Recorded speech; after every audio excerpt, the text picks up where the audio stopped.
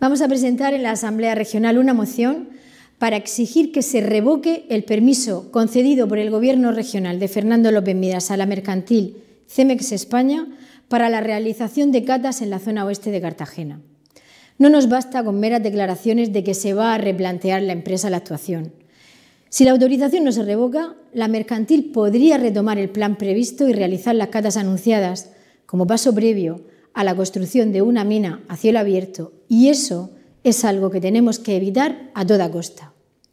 No confiamos absolutamente nada en la voluntad del Gobierno del Partido Popular que lleva demasiado tiempo incumpliendo la obligación de proteger la zona oeste de Cartagena, como lo demuestra el no haber aprobado el Plan de Ordenación de Recursos Naturales del Parque Regional de La Muela, Cabotiñoso y Roldán, que lleva esperando desde 2006.